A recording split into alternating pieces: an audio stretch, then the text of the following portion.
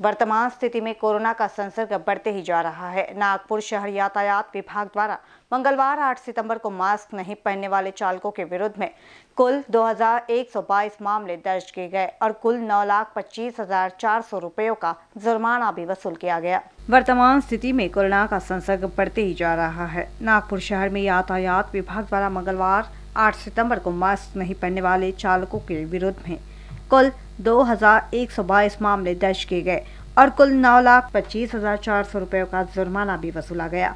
MIDC police station यातायात विभाग में इस संबंध में निर्देश देते हुए नागपुर पुलिस यातायात विभाग के उपायुक्त विक्रम साली ने बैठक में कहा कि बिना हेलमेट और मास्क के मोटरसाइकिल चलाने वालों के खिलाफ कार्रवाई में बढ़ोतरी हो रही है।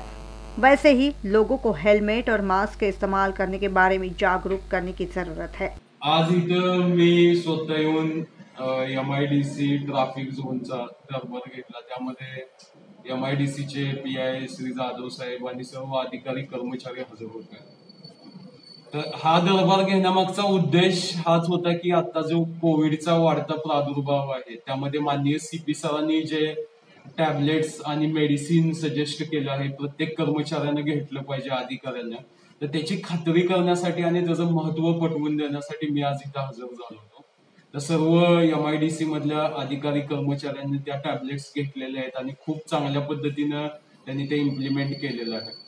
दुसरं ओव्हरऑल मला सूचना पण द्यायच्या होत्या की आमचे नो मास्कच्या कारवाई वाढवायच्या आहेत विदाऊट हेल्मेट सीट बेल्ट असो किंवा जे जे आपल्याला व्हिजिबल ट्राफिक व्हायलेशन होते आपल्या एरियामध्ये तर त्या कारवाई कशा वाढवायच्या आणि त्या वाढवतानाच आपण सेफ्टी मेजर्स पण कसे घ्यायचे कर्मचाऱ्यांनी? याबाबत मी त्यांना मार्गदर्शन केलं. किंवा कर्मचाऱ्यांच्या काय अडचणी असतील पर्सनल असतील कोविड बाबत असतील तर त्या पण आम्ही ऐकून घेतल्या आणि त्या अनुषंगाने आम्ही जेवढी मदत कर्मचाऱ्यांना करता येईल तेवढी करणार आहे. आणि नागपूरच्या जनतेला पण माझं आव्हान आहे की हा कोविडचा जो वाढता प्रभाव आहे तो रोखण्यासाठी प्रत्येकानं मास्क सॅनिटायझर सोशल डिस्टन्स या तीन सूत्रीचं पालन केलं पाहिजे. जर तुम्ही without mask two wheeler four wheeler प्रवास करत असाल तर नागपूर ट्रॅफिक पोलीस इथून पुढे सक्त कारवाई करेल जी कारवाई आपल्यासाठी आणि समाजासाठी ती फायद्याचीच आहे. तर माझं आव्हान एवढंच आहे की मास्कचा हेल्मेटचा सॅनिटायझरचा वापर करावा. धन्यवाद। पुलिस आयुक्त अमितेश कुमार के मार्गदर्शन में मंगलवार 8 सितंबर को एमआईडीसी यातायात पुलिस स्टेशन परिमंडल क्रमांक एक में पुलिस उपायुक्त विक्रम साली की दरबार बैठक आयोजित की गई।